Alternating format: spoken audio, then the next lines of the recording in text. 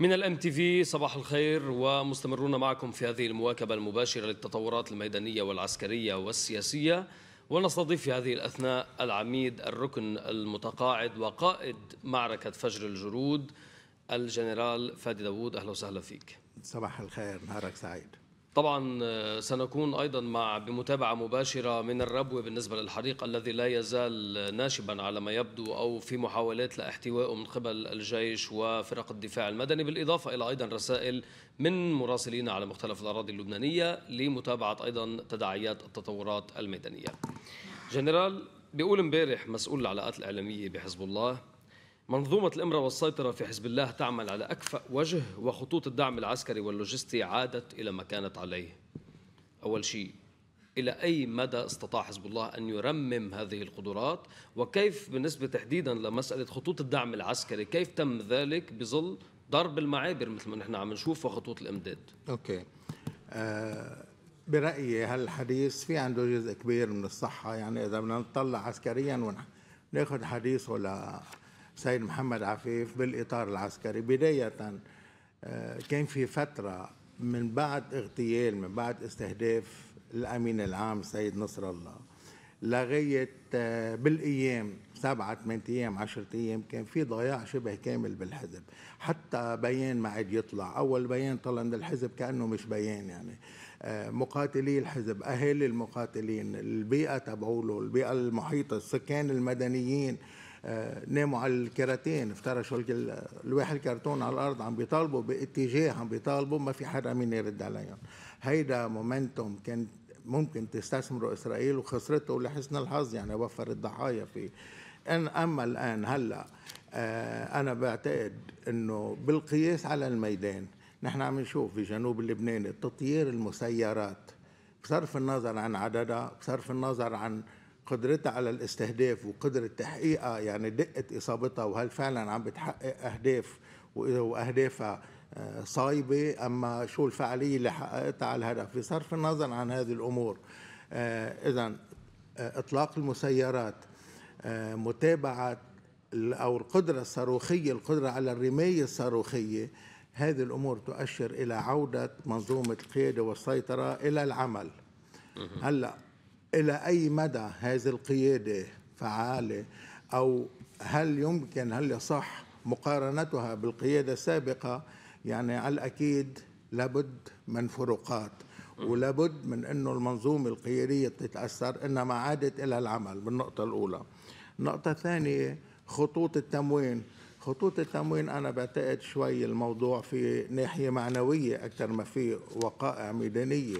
خطوط التموين اللي كانت تجي من العراق سوريا لبنان ما عادت موجود يعني. الطيران الطيران الإسرائيلي من الجو عم, عم نشوفه يعني عم بيستهدف المصنع. كيف بالاحرى خطوط تموين؟ وبمطالباته يعني بال 1701 وملحقاته اللي عم بيقولوا هن مش هن يعني للحديث على الإعلام على 1701 عن تعديلات على 1701 برأيي أنا تتناول الحدود الشرقيه أنا بدي أسألك عن هالموضوع بس اسمح لي قبل. حكيت حضرتك عن إنه كان في مومنتوم من بعد اغتيال السيد نصر الله واغتيال قيادة قوة الرضوان. كان يمكن لإسرائيل أن تستثمره بمعنى الحمد لله ما نعم. استثمرته بس لماذا لم تستثمره في هذا التوقيت؟ هيدي حسابات بتعود لهم هن لأنه حتى نفترض إنه منه شايفين لا شايفين عسكر وبيطلعوا وبيقرأ. مثل ما نحن بنقرأ هن بيقروا. يعني إذا أنت عندك عداوة مع شخص ما فيك تسقطه من صفاته. مكانتهم العسكرية قوية جدا وبيقروا.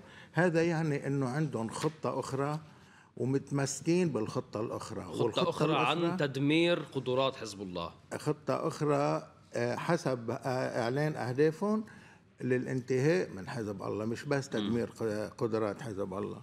هون أنا برأيي إعلانات نتنياهو شوي اوفر يعني ساعه اللي بيقول لك القضاء على حماس. ساعه اللي بيقول لك القضاء على حزب الله. انت عم تطرح القضاء على تنظيم عسكري ولا شك؟ إنما مع العسكر إيديولوجي. ولا برافو هاي النقطة.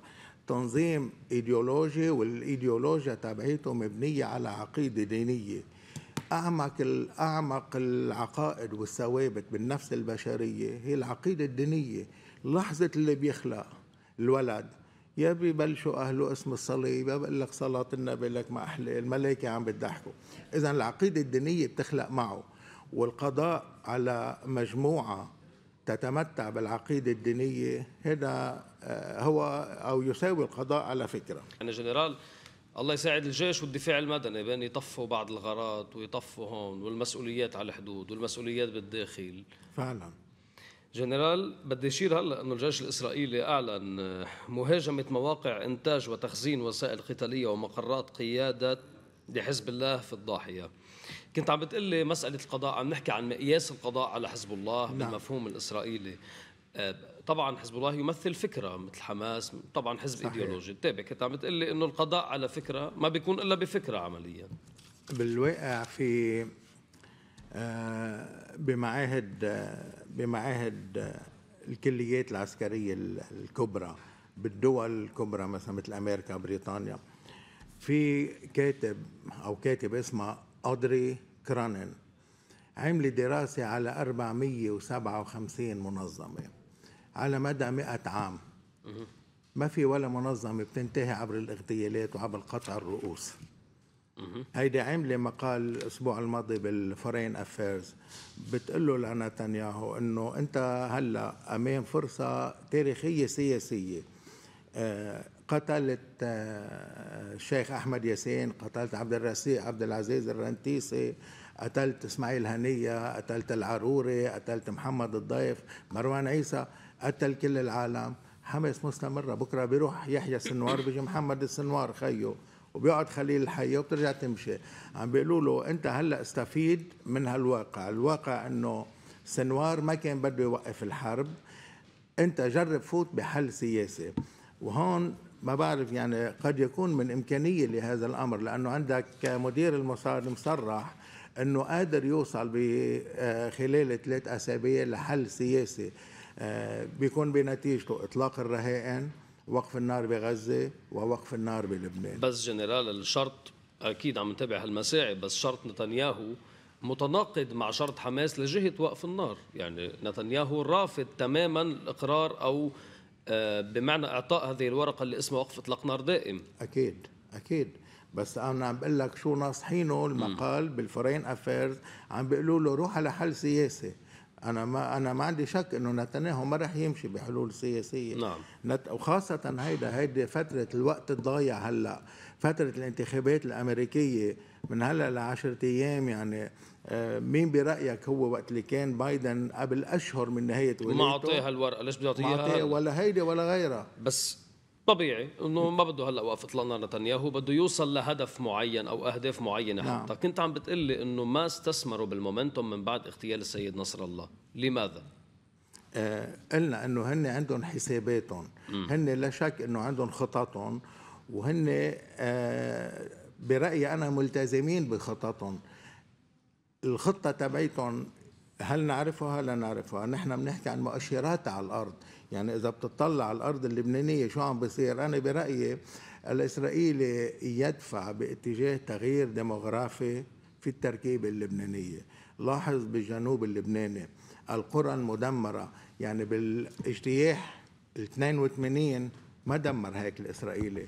باجتياح 78 دمر بعض المنازل إنما ما عمل تهجير.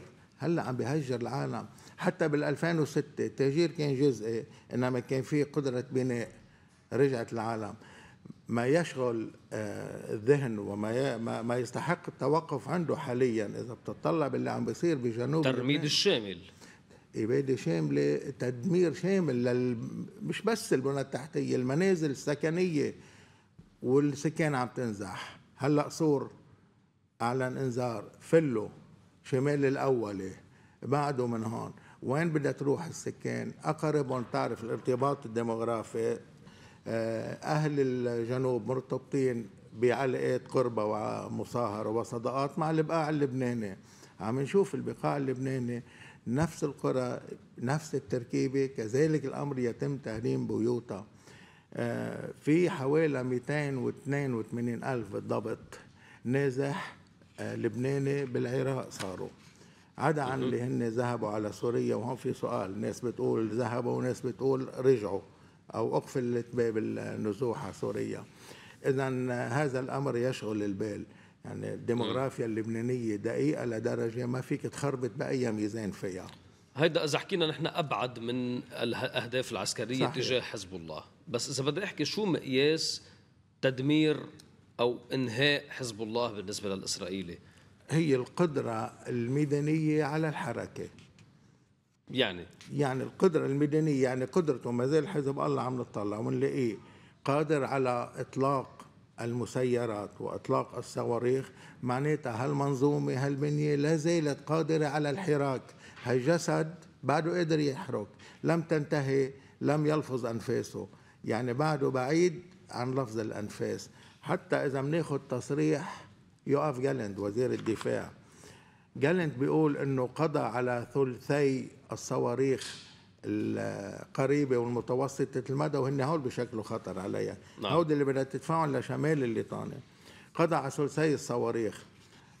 من المعلن نحن ما عندنا إحصائيات دقيقة لكن بنتكل على القراءات. إنه حزب الله كان عنده ما يقارب ال ألف من 150 لل 200 إذا شلنا 50 ألف صاروخ اعتبرناهم صواريخ دقة وصواريخ بعيدة المدى. وقال آه، ما توجه لهم بخطابه. قال صواريخ قريبة ومتوسطة. بيبقى 150 ألف صاروخ. إذا دمروا خلينا نقول دمروا تلتينهم يعني بعد عندك 50 ألف. إذا بقى 50 ألف يعني حزب الله عنده قدرة على إطلاق يوميا 130 140 صاروخ على إسرائيل. على مدى؟ على مدى سنة صوم 50000 على 365 بتطلع هالقيمة. وهلأ قديش تقريبا كم عدل عم بي عم يطلب؟ يعني في أيام أنا عم تابع باللي بقراهم في أيام بيبعت 70 في أيام بيبعت 200 صاروخ. هلأ إنما ما وقفت هون نحن بعدنا حسابات نظرية. عم نحكي نظريا. حسابات نظرية بكرة بيتدخل إسرائيل مثلا إذا تدخل بمناورته العسكرية. لهيدا السبب أنا أقول إنه إذا كان الإسرائيلي ينوي فعلا قتال حزب الله أو يقصد العمل العسكري الفعال على حزب الله. نحن لازلنا آه، لم نشهد المعركة. أه. لم نشهد المعركة. يعني إذا بتطلع على الحدود الجنوبية الاسرائيلي عنده أربع فرق. م. وتكلمنا سابقا صارت كل العالم تعرف شو حجم الفرقة وشو حجم القوى اللي بتساعد الفرقة. نعم. اذا الاشتباك اللي عم نشوفه على الجنوب بالجنوب اللبناني هل هو يساوي اشتباك أربع فرق هيدا انجا اشتباك لواء أو لواءين يعني إذا بتطلع على خريطة الاشتباكات الإسرائيلية على الجنوب اللبناني بالجنوب اللبناني نعم. بنلاقي إنه الاسرائيلي آخذ شريط من الأرض شريط عريض رفيع من الأرض من البحر إلى أقصى الشرق وصعودا على الخطوط على الحدود الشرقية يعني بزاوية 90 درجة. نعم. اخذ هالجبهة هيدي هالشريط من الأرض آه، في بعض الأماكن احتلها وفي بعض الأماكن لا زال يقاتل يعني مثل هيدا الشعب بعده ما انتهى منها بعده عم بيقاتل هونيك. إذا هل هذا الشريط من الأرض أو هل بقعة الأرض هذه توازي قتال أو بحاجة لتمركز أربع فرق في الجنوب اللبناني أكيد لا. عنده فكرة مناورة أخرى يعمل عليها. بداية حين كان يقاتل كان هالشريط بعد ما اتصل ببعضه. كنا نقول هو ينفذ استعلام ميداني لأرض المعركة حتى يمركز قواه وينطلق منها. هلأ لما وصل هالنقاط ببعضها آه، قد يذهب المحللون باتجاه آخر أو بتفكير آخر. الذي هو؟ الذي هو ممكن استعماله كقاعدة انطلاق بالهجوم إذا أراد وممكن استعماله كخط وقف فيما لو قام بمهاجمة القرى آه، عبر عملية التفاف إن تكن على المجنبة يعني آه، من الشرق باتجاه الغرب وإن تكن عبر عملية أكبر من هيك يتوجه فيها نحو البقاع اللبناني نحو البقاع الأوسط اللبناني أو بينزل فرق أو حتى من الجولان آلياته العسكرية. نعم. إذا امكن انتبه لأنه الجولان في توازن في توازن ثاني في في الأمريكان آه، عفوا. في الروسي. في الروسي وفي الإيراني. بس شفنا عمليات كسح الألغام يلي عم بتصير تمهيدا ربما لا. وأكثر من هيك إذا بدنا نرجح إذا بدنا نعطي تحاليل ترجح هذا المحور. واليوم نعطي هالتحليل بكرة في ممكن مستجدات أخرى أخرى عفوا. امبارح على الانترنت كان في حديث انه اوكرانيا آه، بتصرح انه ممكن آه، تتخلى عن جزء من الاراضي لتوقف الحرب مع روسيا. يعني إذا أنت بدك تقول إذا الروسي قبض ثمن بأوكرانيا ممكن كتير آه، يمرق عمل هون. ما بنعرف شو المعطيات الدولية. صحيح. لها سبب بدنا نراقب تطور الوضع الميداني. إنما مناورة تكون صعبة جدا وقاتلة في حال الإسرائيلي توجه إلى البقاع اللبناني ومن هناك حتى لو بدون ما يبدأ عملياته العسكرية مجرد تواجد قواته في البقاع اللبناني بيخلق وضع سياسي أو وضع عسكري بيأثر وبغير بالوضع السياسي. بمعنى الردع يعني عم تحكي أو بمعنى بيدفع التخويف بإت- أو ال... يدفع باتجاهات أخرى. نحن شفنا ال- ال- العمل ال- العمل العسكري الاصفف الجوي بيدفعك إلى القبول بشروط أساسا بدونها ما كنت بتمشي فيها. بالمقابل قدرات حزب الله البرية إلى أي مدى قادره على الاستمرار على هذه الوتيرة؟ حزب الله ليس مجهزا لقتال يعني منه جيش قاتل جيش. ما بيقدر يقاتل الإسرائيلي.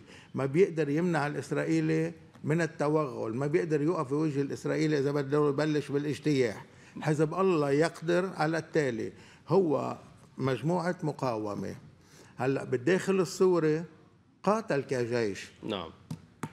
إنما بالداخل السوري اللي كانوا بيوجهوا عن قتلهم مجموعات ميليشيا ومجموعات إرهابيين بإمكانه القتال كلا بس بمعنى جيش نظامي أنت تقول كجيش نظامي كإسرائيل. كمنظومة عسكرية. أما بوجه مكنة عسكرية ماشين يعني عندك طيران وعندك دبابات وعندك ملالات وعندك قوى صاروخية وعندك جميع الأجهزة عم بتناول الصواريخ اللي بنسمعها صواريخ بركان والماس وإلى آخره هيدي منا قادرة انه يعني إنه ما بدها سؤال يعني الميزان بالبر في جزء من الأسلحة الإيرانية هذا اتجاه آخر.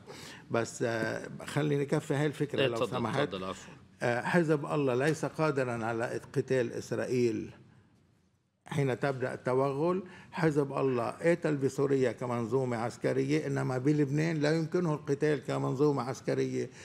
في لبنان يجب أن يقاتل كعمل مقاوم يعني في اليوم التالي للاجتياح وحين تتوقف القوى وحين آه، تقوم بعمليات التجاوز والتبديل وهالأمور هنا يبدأ عمل المقاومة. هون ببلش عمل حزب الله. حزب الله برأيي أنا بتقديري منه قادر يمنع الاجتياح؟ بس حزب الله قادر يخلي الاجتياح يصير مكلف على الإسرائيلي ليدفعوا لخيارات أخرى. طيب، هذه المعطيات ما بيعرفها حزب الله وما كان من مصلحته اليوم يلجم أو يعلن وقف إطلاق النار من طرف واحد بحال هو كان عنده هذه القراءة؟ أنا أنا بعتقد إنه الأمور ذاهبة باتجاه حلحله يعني حلحلة؟ باتجاه حلحله ولو اخر لو إنه في وقت ضايع هلأ طب بدنا نعرف. يعني إذا بترصد آه، تصريح آه، أو زيارة هوكستين وتصريح الرئيس بري. تصريح الرئيس- إيجابية بايجابيه بإنه رئيس بري كان كتير إيجابي. وعشو مبنية هالإيجابية؟ ما زال عارف إنه هوكستين هاي آخر زيارة وعشرة أيام يمكن يرجع على الحكم ويمكن يروح نتنياهو يعمل له خربطة بإيران يطلع ترامب. مم. يعني الضرب اليوم ال- الرد الإسرائيلي على إيران. ضربة إسرائيل على إيران بدها تطير ال stock market وبدها تنسف موضوع النفط لأنه بايدن قابل باط لإيران على أو مغمض عينه شوي على النفط الإيراني. مم. أوكي. هلا أي ضربة بتتنفذ على إيران بدها تغير الأسعار بأس- بسوق النفط وبدها تغير ال stock market. كمان صار أسعار في حديث إنه في محاولات كان أمريكية لتاجيلها لبعد خمسة الشهر للضربة. بس اسمح لي ارجع أسألك عن موضوع الحلحلة اللي عم تحكي عنه بالجنوب نعم. حضرتك. حلحلة على قاعدة مثل ما أنت عم بتقول إنه حزب الله قد لا يكون قادرا على التحمل كثيرا بهالمعنى. أنا بعتقد إنه حزب الله عقيدته قوية لدرجة قادر يتحمل لغاية لآخر الدرجات. بس قياداته اللي بدها تاخذ الأمر ال- القرار آه، لأي مرحلة بدها تخليه إنه شو راح بيبقى لك إذا تدمرت كل المدن وبقي جزء من السكان حي إذا تدمرت كل وسائل الحياة. أنا تدخل بعتقد إيه، تفضل. أنا بعتقد مثل ما قلت لك في مشروع حلحلة. يجري العمل عليه بين السياسيين مع الرئيس بري وميقاتي والسياسيين اللبنانيين وبين المجتمع الدولي وتحديدا أمين عام الأمم المتحدة. لأنه اليوم مثلا تسمع مطالبات على 17 صفر واحد. أوكي. وال 17 صفر واحد ناس بتقول لك بدي معه ال 15 59 هو جزء منه وناس بتاخدك على آه، خروج إسرائيل من الأراضي العربية المحتلة. صحيح. اذا كل واحد بيقرأ وبيفسر 17 صفر واحد والقرارات الدولية من وجهة نظره. آه، آه، لها سبب أنا عم بقول هنالك ضرورة وقد وقد نشهد في وقت ليس ببعيد آه، مبادرة يطلقها الأمين العام للأمم لتف- المتحدة. أكيد. لتفسير ال 1701 من قبل الأمم المتحدة. أوف، هاي جديدة. يعني قد نشهدها هي فكرة. آه بده يفسر يعني ما فيك تتكل إنه كل شخص يفسر ويقرأ 1701 الامم المتحدة هي اللي أصدرت ال 1701 هن اللي بيفسروا بنود ومندرجات وكيف هيدا اللي أشار له هوكستين بعتقد أنا. وهيدا الشيء الإيجابي اللي بني عليه الرئيس تلقفه الرئيس بري بس جنرال اليوم هذا التفسير أنا بعرف إنك عم تحكي عن المساعي الدبلوماسية بس بالمقابل إنه يلي خزق ميثاق الأمم المتحدة بالجمعية العامة واللي راح أنب كل ال- الجمعية العامة بنيويورك واللي عم بقوس على اليونيفيل وعم يستهدف مراكزها واللي مش قاري لا كيف بده يقبل نتنياهو أو قادرين بهذه القوة من الأمم المتحدة أو هذا التفسير بإلزامه بحل؟ آه، انتبهت تبعت ماكرون شو قال له لنتنياهو؟ قال له تأسست إسرائيل بالأمم المتحدة. بنفس القرار بس. من نفس الوقت مزبوط آه برجع بقول لك أنا هاي هيدا الوقت هلأ هو وقت ضائع. بالوقت الضائع نتنياهو سوف يتعنت. ورا الانتخابات الأمريكية رح بيكون عنده وقت قصير حتى يتابع سياسته سياسة التعنت. بيكون الرئيس الأمريكي بعد ما استلم وبهالفترة هيدي رح تكون فترة قاتلة. ما بتعرف مفتوحة السقف لأنه قادر. يصعد قد ما بده وما في مين ي- يضغط وبيلعب. بالانتخابات الأمريكية. يعني إذا ضرب لنا قبل بخمسة أيام رح بيتأثر بايدن. تترجح خبرية ترامب. وترامب بيقول لهم صديقي نتنياهو أخبرني ماذا ينوي أن يضرب في إيران. وبتضيف عليها امبارح التسريبات عن ال Golden Horizon الأفق الذهبي وسلاح الأفق الذهبي. يعني هالامور بالتحليل بدك تحطها فوق بعضها ونشوف وين ممكن نروح مع نتنياهو. إنما بالآخر بده يرجع على الطاولة. ما في الحروب ما بتخلص بالميدان. بالميدان بتفرض شروط. بالميدان بتحسن وراء بإيدك. إنما الحروب تنتهي على الطاولة دائما. جنرال قلت أنه ممكن أن يبادر الأمين العام للأمم المتحدة أن يفسر القرار 1701 نعم.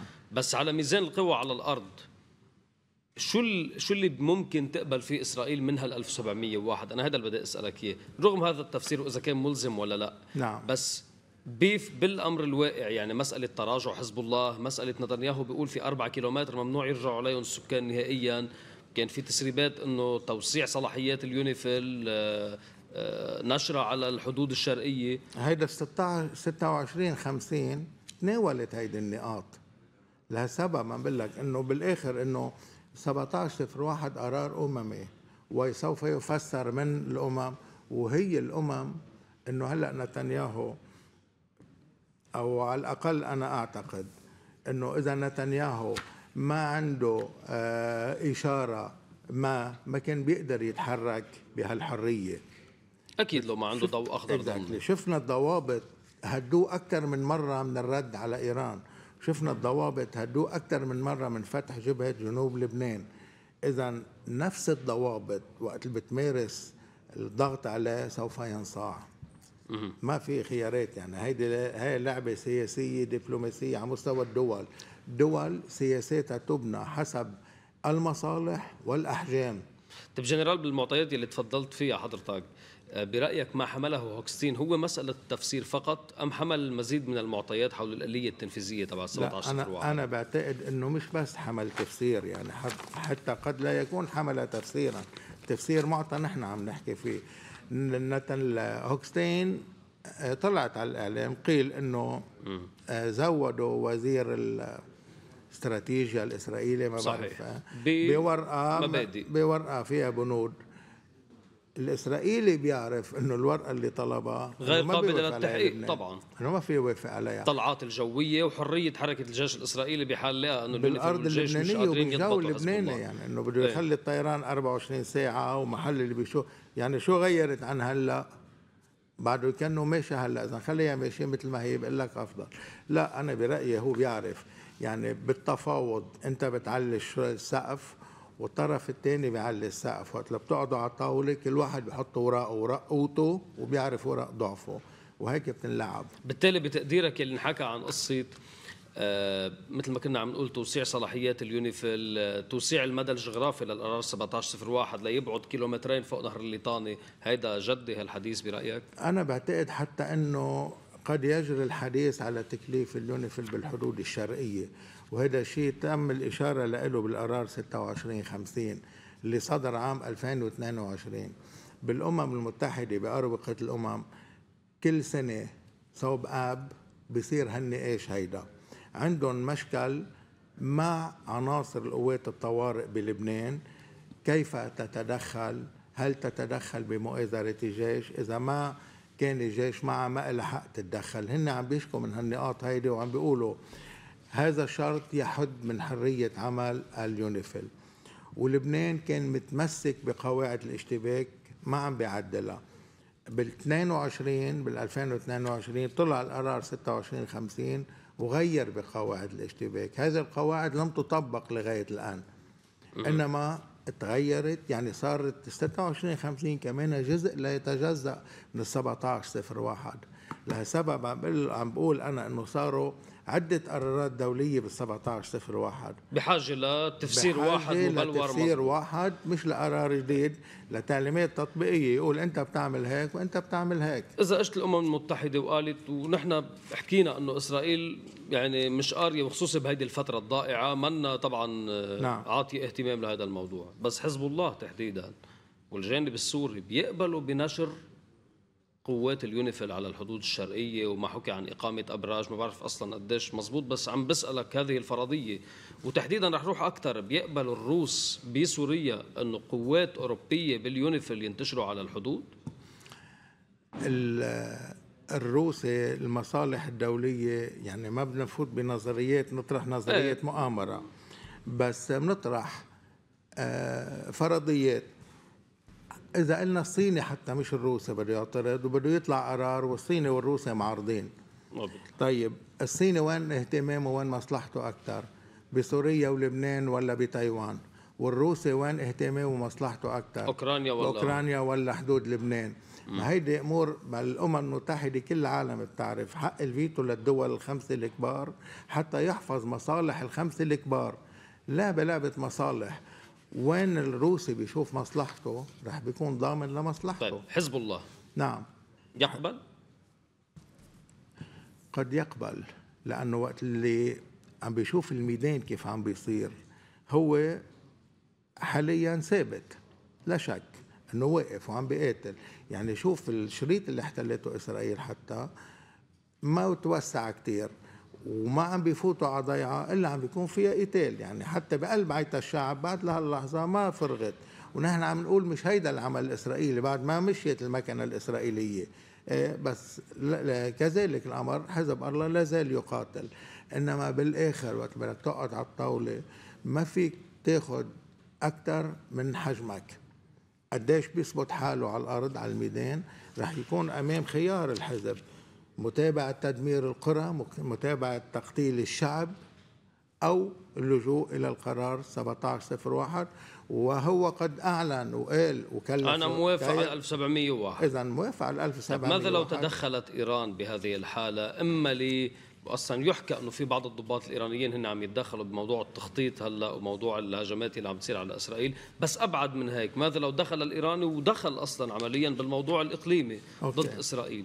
طيب آه، تدخل الضباط الإيرانيين بتنظيم العمليات آه، منه جديد يعني بال 2006 اللواء سليماني كان قاعد بلبنان وعم بيقود العمليات وهذا مستند فيها لتصاريح الحزب وتصاريح مسؤولين الحزب وقت بيقول لك العلاقة مع إيران تسليحنا وتدريبنا وتمويلنا وكل كلها من إيران.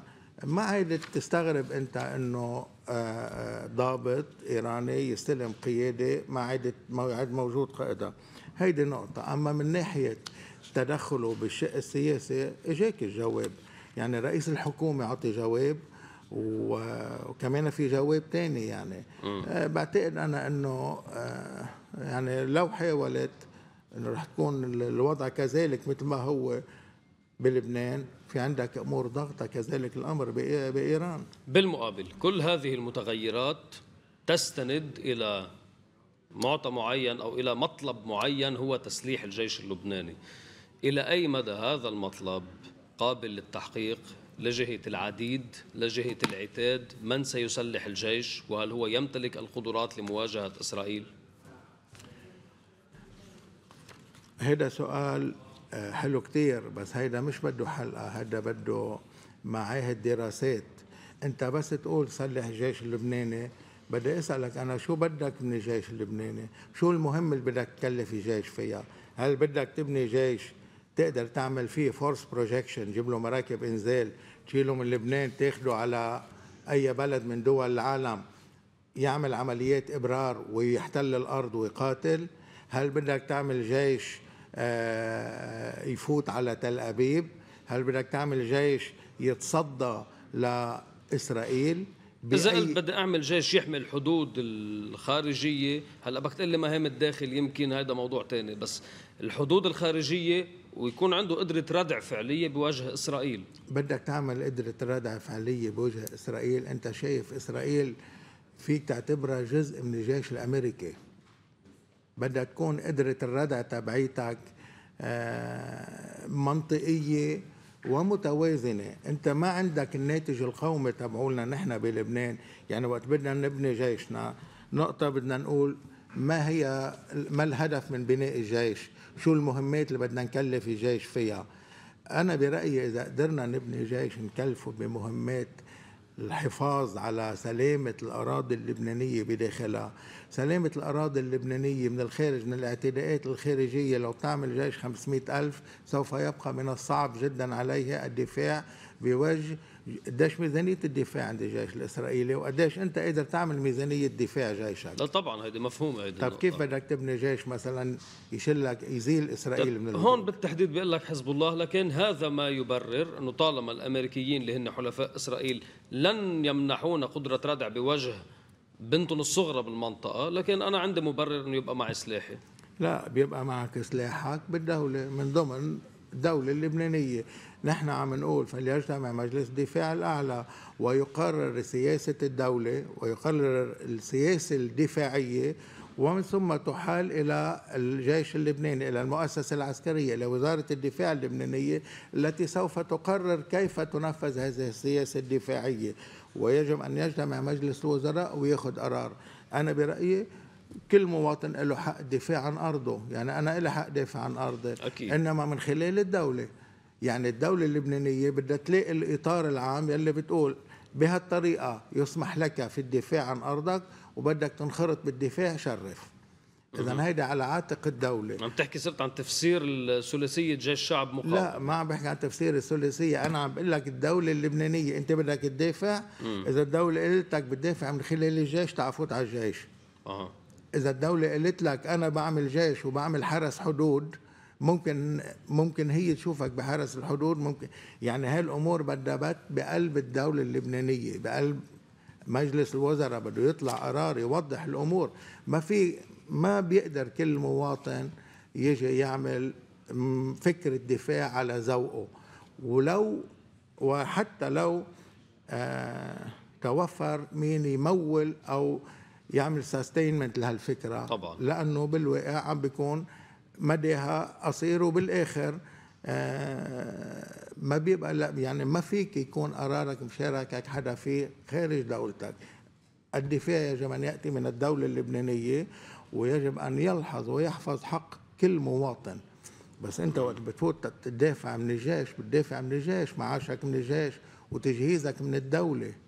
ما بقى فيك تنفذ قرارات تانية ومشاريع تانية مشاريع أخرى. جنرال برأيك بالتالي يعني هلأ عم فوت شوي على استنتاجي اللي عم نحكيه كخلاصات. بالتالي إذا بدنا نلخص ما هي الضمانات المطلوبة لتطبيق ال 1701 بهالمعنى يلي حكي عنها هوكستين إنه التزام الطرفين غير كافي لتطبيقه وهذا ما أدى إلى خرقه من الجانبين. شو الضمانات برأيك الكافية ليطبق هذا القرار؟ الضمانات برأيي أنا بعتقد آه، أو المسار اللي بده سوف يسلك. ضمانات رح تكون ضمانات دولية يعني انه شو طيب شو شو عندك ضمانه غير الضمانه الدوليه؟ مرفقه بضغط امريكي على اسرائيل هي هالضمانه الدوليه بدك تقعد وامريكا اذا راضيه على المشروع بالامم رح تقعد ورح تعطي اسرائيل تعليمات بتنضبه وهيك بتصير ومثل ما عم بقول لك أنا بعتقد الحل قد يبدا من مبادره للامين العام بتفسير 1701 وما يليه وما سبقه من قرارات مثل ال 15 59 مثل ال 26 50 مثل ال 1680 مجموعة كبرى من القرارات.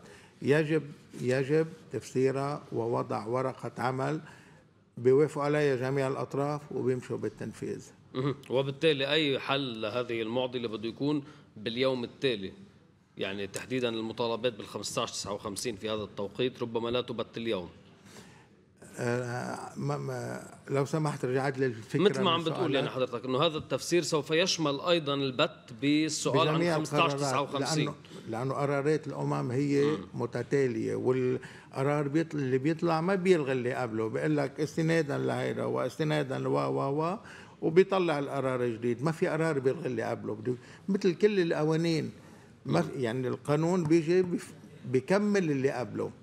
إيه وقت اللي بده يلغي اللي قبله بيطلع غير قانون قانون إلغاء. لا 17 صفر واحد لن يلغى. إلى حينها جنرال؟ في كثير مؤشرات بلشت تبين على نوع من حصار على لبنان. يعني عم نحكي القصف يلي قرب على المطار عم نحكي عن البوارج الموجودة عم نحكي عن خطر ربما انزالات من الناحية الغربية عم نحكي عن إقفال المعابر. إلى أي مدى يستطيع لبنان أن يتحمل هذا الحصار؟ أو إذا تطور هذا الحصار إلى حين إرساء الحل مثل ما تفضلت يلي شكله ما بعرف إذا بعيد بال ولا 2006 عشنا هذا الحصار بس عشناه آه، بشراسة حصار أصعب. إذا عم بتذكر عام 2006 يعني ال- العالم اللي كانت بدها تهاجر من لبنان كان عندها صعوبة كتير كبيرة. إجت المراكب البحرية أخذت الرعايا الأجانب وبقي اللبنانيين لمصيرهم. بال 2006 آه، كان الحصار الحرب هلا أشرس وأكثر تدميرا إنما حصار 2006 كان أصعب. هلا بعد الطيارات عم تقدر تغادر. آه إلى متى يستمر هذا الأمر؟ أنا لا أعرف. إلى متى لا يستمر هذا الأمر؟ بانتظار تطور الميدان مثل ما عم نحكي. العميد الركن فادي داوود جنرال أنا بدي أشكرك على كل هذه الإحاطة على وحضرتك. طبعا باحث في الشؤون الاستراتيجية والعسكرية ودائما بمعطياتك الغنية والوافية مشاهدينا نتوقف مع فاصل إعلاني سريع ومن بعده نتابع هذه المواكبة المباشرة